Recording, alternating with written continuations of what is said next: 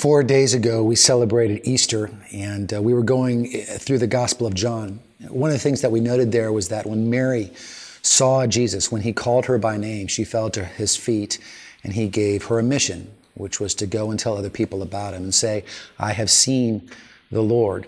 All of us uh, who weren't a follower of Jesus wind up having a resurrection story. Ephesians chapter 2 tells us that we were once dead in our trespasses. So, uh, with all the things that get posted on Facebook and on social media, it occurred to me I've never really posted my story of how I came to life in Christ. And so I thought I'd take a moment just to do that. I was raised in a really loving home. Not everybody's so fortunate. Uh, but I was raised in a home where my parents uh, loved me and they loved my sister, and uh, they really did want to follow God. They were followers of Jesus. But I had a, a challenge, I had an issue, and that was I didn't want to be a Christian because my parents were Christians.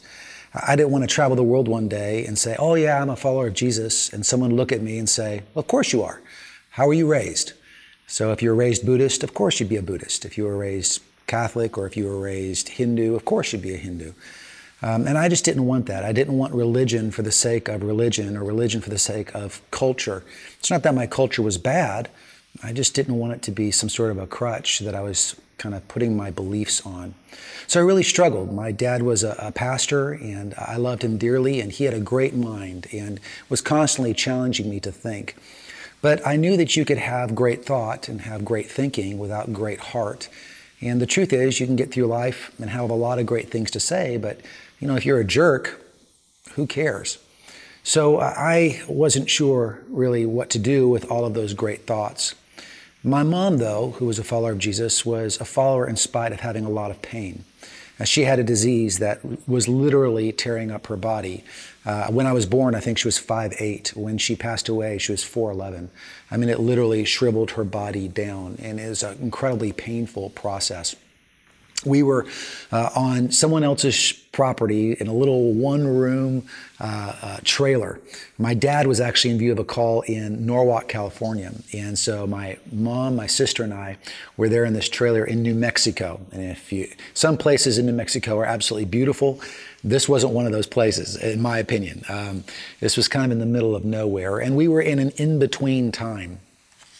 I was a little bit frustrated and I was a lot angry as a young man. I didn't really have a right to be angry because I was raised well and I had great circumstances and loving parents. But I was just frustrated. I didn't know really what was worth living for. Like many, I didn't think that God was really real. But the problem was, I was being faced every single day with this life uh, that was displayed through my mom. Now, my dad had flashes of the life, but it was really shown through my mom, and especially in how she dealt with suffering. I would wake up every morning and she'd be reading her scripture. There was always a smile on her face, not in a superficial way, but in a way that was real and meaningful. She was one of the very first to crack jokes. She had a great sense of humor and she was interested in other people. It wasn't about her pain or her loss. She knew how to love generously. And that frustrated me because it felt like she had something I didn't. And I knew that she would say it was Jesus. So one day I got smart alecky. And uh, I looked at mom and I said, You're a Christian, you're a follower of Jesus, and look what God has allowed to happen to you. Look what happened to you. Why in the world would I ever want to follow that kind of a God? It's a pretty snarky thing to say as a young man, and, uh, but I meant it. I meant every word of it. And my mom, quick as lightning, came back and she looked at me and she said it and she meant it. She said, Derek, I'd rather know Jesus and be sick than be healthy like you and not know him. In that moment, I was confronted with a scenario I didn't think was possible. It never occurred to me that someone might choose sickness to know Jesus. You don't do that. If you really want to be healthy or you want a great life, um, you don't choose sickness, uh, especially not for some sort of a religious crutch. You don't choose it for a cultural background. You would jettison your cultural background in order to you know, embrace whatever health is attached to. But mom would rather be sick and know Jesus than be healthy like me. And I was healthy and I was angrier and not know him, and I didn't. And so that got me thinking what if Jesus is real? What if, in fact, all of these great thoughts were somehow true? And after looking at the other world's religions and finding these limitations there, I just kind of thought, man, what if I'm actually seeking the very thing that's right in front of my face?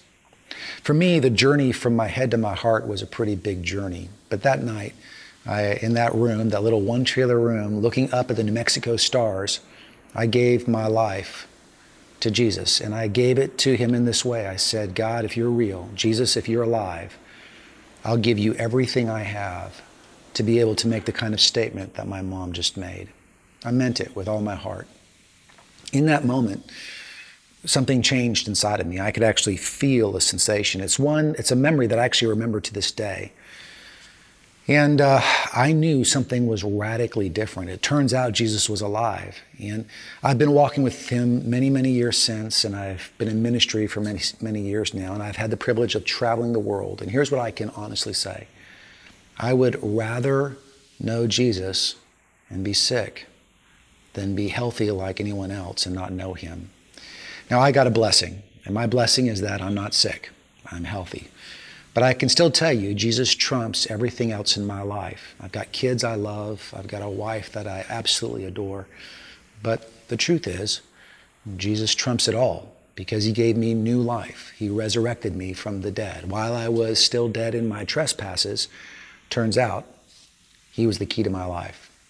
So that's my story. What's yours?